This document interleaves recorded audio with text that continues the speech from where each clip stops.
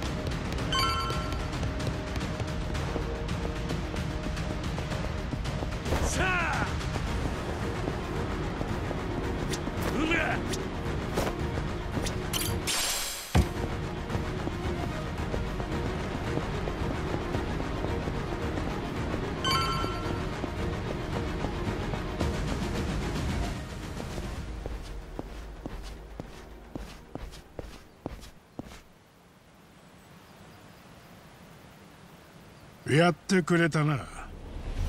花は一人のためにお前は大道寺全体を敵に回した。そこどけ。俺は脳なしの指揮官に愛想を尽かしただけだ。なんだってそうまでして花輪を助ける。あいつだって所詮はお前の監視者だ。どっかで拷問されようが殺されようが別に構わんだろ。う俺はもう自分の過去も人生も名前すら捨てている。未来に希望もねえ。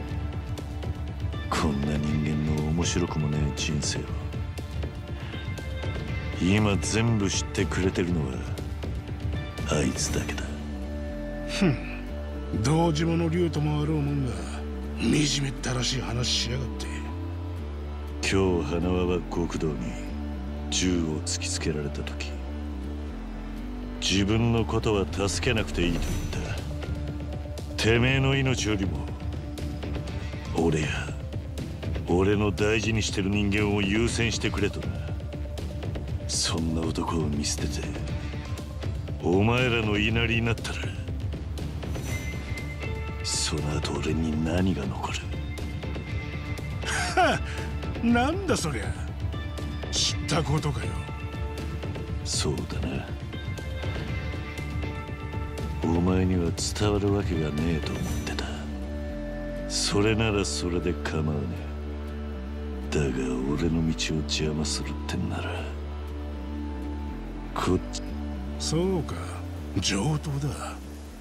やってみなその番だ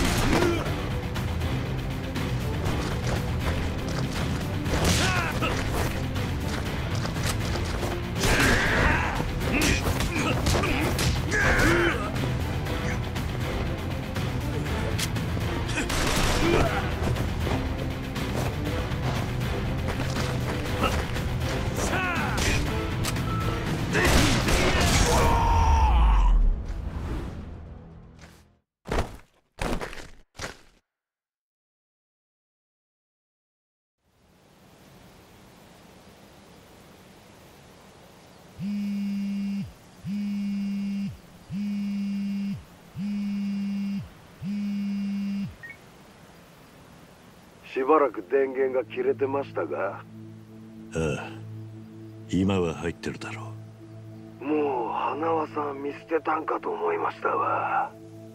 あいつは無事なんだろうな。ええ。せっかくの人質を殺すわけがない。今から言う場所に来てください。偉人町のスナック街にサバイバーいう店があります。そこでお待ちしてますわ。もちろんお一人でいらしてもらいます？分かってる。ただ到着まで少し時間がかかる。ご心配なく。そちらの位置は GPS で分かっておりますんで今後スマホは無断で切らないように願います。では後ほど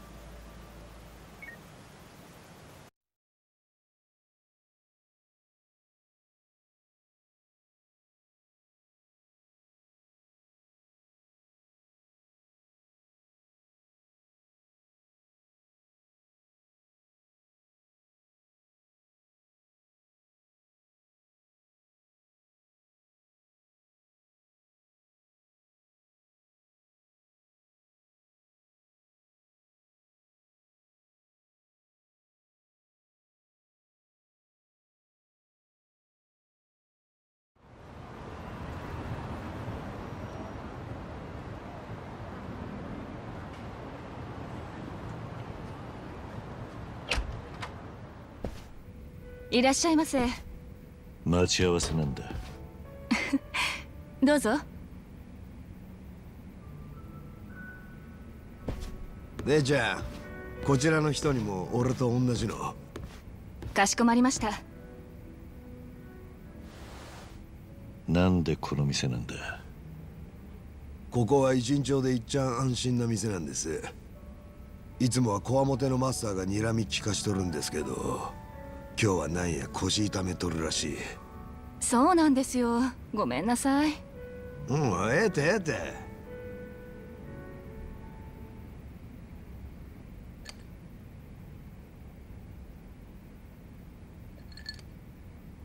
案外律儀なんだな。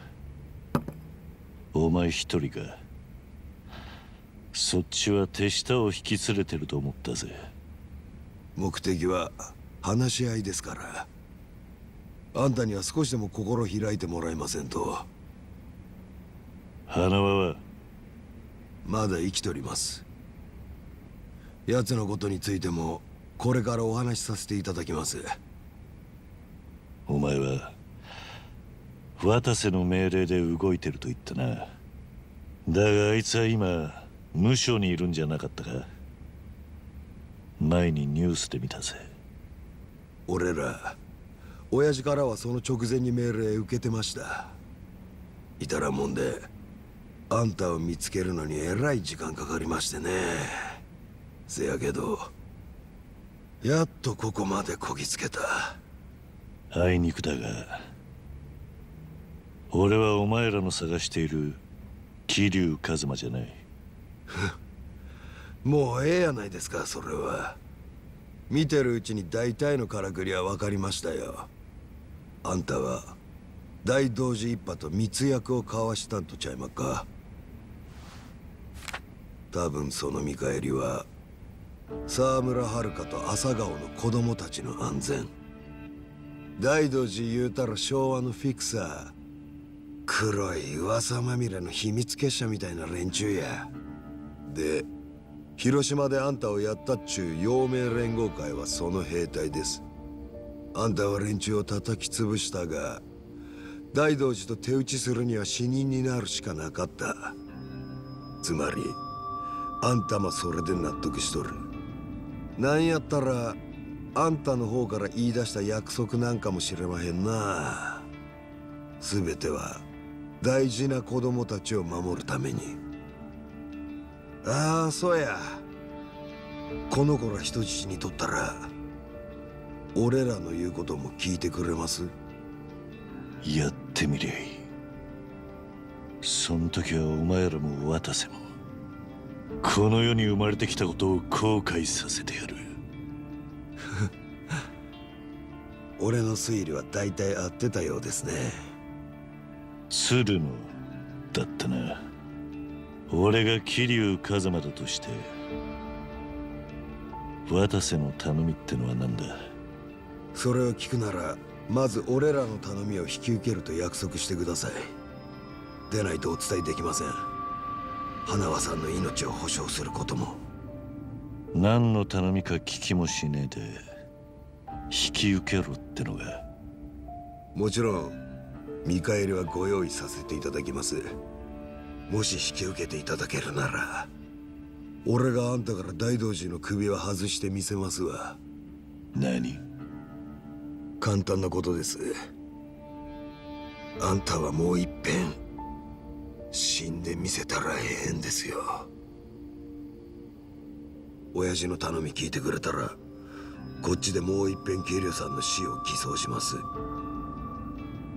今度騙す相手は世間やのうて大道寺いっぱいや。あいつらかて。ほんまにあんたが死んだ思ったら監視のしようもあらへん。沢村遥や他の子供たち。そらさすがにまた一緒に暮らすのは難しいかもしれん。けど人目盗んで時々会うくらいできるはずや。また会えるようになるんやで。あんたが守った朝顔の子らに。ただしその場合花輪さんには死んでもらわな何だと？桐生一馬の二度目の死やその状況に説得力持たせるには花輪さんの死体も必要です。別にええやないですか。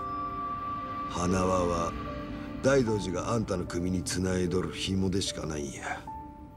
その紐切って自由になるのに何迷うんです。